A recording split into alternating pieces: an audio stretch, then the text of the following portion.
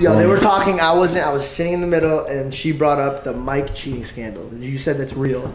Yeah, it's real. He actually let a girl from Dr. Phil suck his dick, and then he went on. You- you wait, don't hold have to go that I, ha- I have something. Okay. He went on Impulsive, and he said Lana wasn't my girlfriend yet, so it wasn't official. But I have this proof that I can show you guys.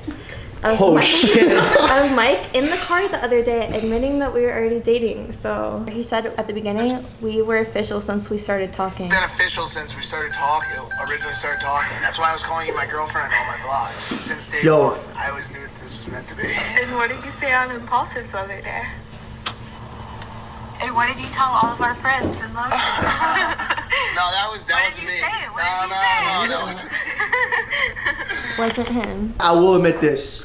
I've known Mike for a long time. I've never seen him gassed up over a girl like you. Never, not once. I genuinely mean that. And if we're gonna be real, Mike, surprisingly enough, if I was a girl, would definitely be somebody like I, I'd be attracted to because he's one of the. No, I'm being serious. He's really funny. He's confident. He'll never change throughout any group you're in. You could be with A stars. You could be with fucking people that are doing nothing in life. He's the same person.